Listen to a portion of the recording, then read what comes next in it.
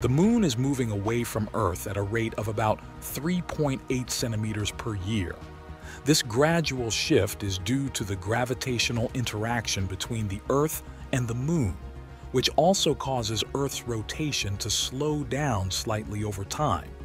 As a result, days on Earth are getting longer by about 1.7 milliseconds per century. Neptune, the eighth and farthest planet from the Sun, has the longest year in the solar system.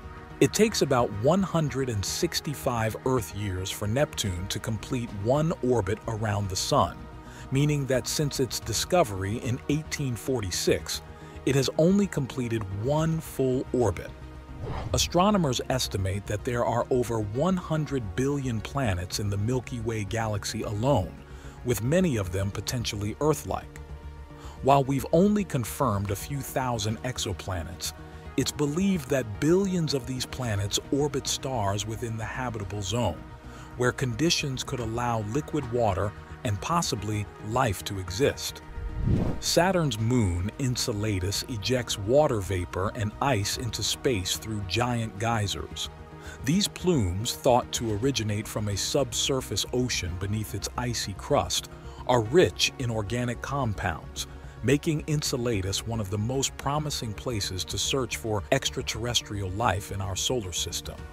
The observable universe is vast, stretching about 93 billion light-years in diameter, but scientists believe the actual size of the universe could be much larger, possibly infinite.